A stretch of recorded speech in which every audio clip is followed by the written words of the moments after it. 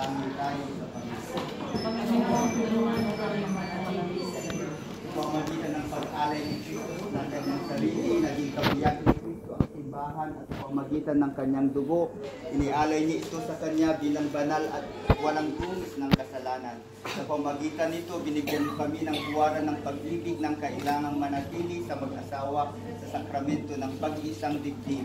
Manalangin tayo sa Panginoon. Panginoon, tulungan mo kaming manatili sa iyo.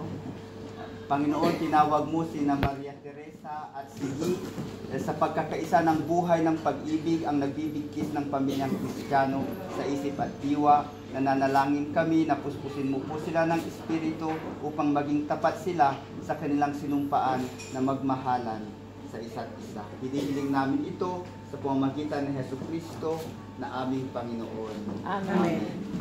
Sumainyo ang Panginoon At sumainyo at rin. pagpalain kayo ng makapangyarihang Diyos, ang Ama at ng Anak at ng Espiritu Santo. Amen. Felicitasyon. Felicitasyon. Vaya con Dios. Baya ko ni- Ay, con Dios.